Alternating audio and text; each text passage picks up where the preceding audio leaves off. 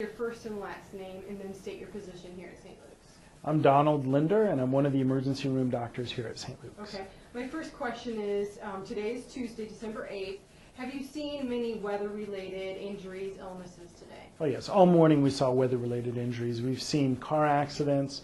We've had three or four of those today. Minor injuries, but and we've also seen people with snowblower injuries. We had one of our, my very first patients today, unfortunately, was declogging his snowblower and had a hand injury that required him to go to the operating room on. Okay. So, I mean, clearly, um, that's one, one thing that folks should be aware of is, is, you know, if they're out shoveling or, or using their snow blowers to definitely take care.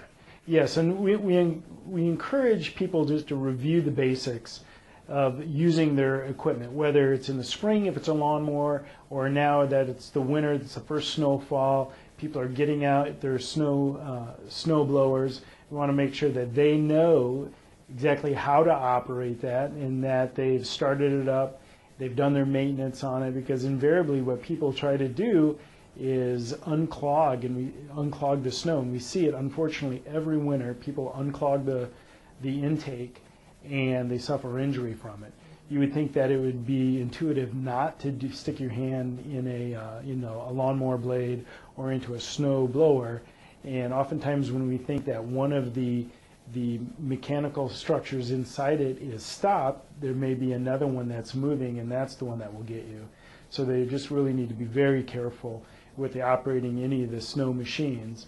And then also really use a defensive tactic when you're out driving. It's, you know, we have snowy, icy conditions that we're not used to. It's the first snowfall. And actually, it's the time of year when people are in a hurry. I mean, they're doing the Christmas shopping, they want to get done, but they have to be just very, very careful.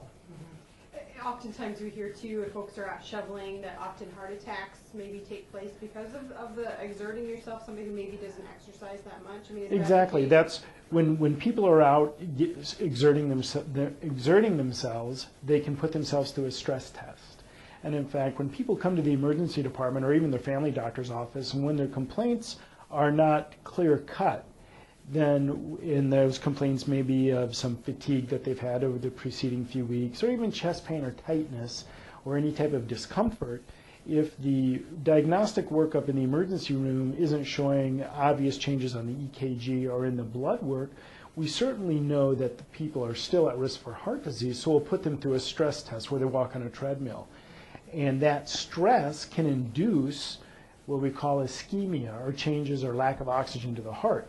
Now, people can do that on their own. They don't need a treadmill to do that. They can be shoveling, they can be walking fast, trying to go from one building to the next, or walking from their car into the store, and they can get chest pain from that. And in fact, we've seen, just in fact today, somebody who's had a heart attack as a result of that. Tell me, um, as far as um, hypothermia, uh, obviously that is a concern, hypothermia and frostbite. Mm-hmm. You know, when, when, because we're supposed to get some really, really frigid temperatures Wednesday and Mm-hmm. Thursday. Let's talk about signs, symptoms for both. One of the things that I would encourage people to realize is that it doesn't have to be below zero or freezing temperatures to get a cold related illness.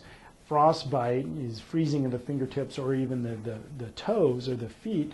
Also, your exposed area, the nose, the ear lobes, those are areas that we see get um, frozen. Now, I would recommend that people dress in layers to help move some of the moisture away from the skin and into the clothes. And dressing in layers, and actually fairly loose fitting layers, uh, it helps with dissipating the moisture.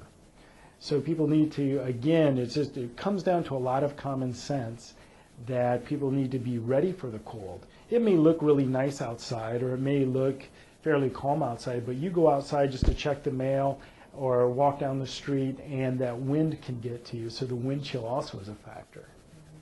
What are some of the, the warning signs, the signs and symptoms of, of hypothermia and frostbite? Hypothermia uh, is the is a cold related illness and people can get pain and that pain can be in their exposed areas whether that's the face or the extremities and first the people will get a uh, they'll feel a numb or a cold sensation and then and, and oftentimes people get that but when it starts to get numb that the areas that have been exposed are very painful, that can be signs that the skin is actually freezing. And whenever you feel any of these symptoms, you need to get inside and warm up. And we, what we tell people is to do active rewarming, and that is warm blankets or warm water. We don't want them to use very hot water or scalding water because their sensation is impaired in their hands uh, and or in their feet. And if you put your hands or your feet into very hot water or scalding water, you may not feel it right away until the skin begins to thaw. And then when you, by the time you feel that, you could actually be burning the skin. Anything else that you can think of, um, weather-related that, that folks out there should know about here as we're going into this nasty weather? Just be prepared. You know, you think about others around you, especially when you're driving a car. Keep a safe distance. Don't be in a hurry. And, and when we, we've heard time and time again from the media and from law enforcement, if you don't have to be out in this weather, don't go out in it. Things happen, whether people slip or fall or get hit, you know, rear-ended by someone else. You know, these are all accidents. And then if you don't put yourself in that position, then it's not going to happen to you. Very good. Anything else? No. I think we're good. Thanks so much.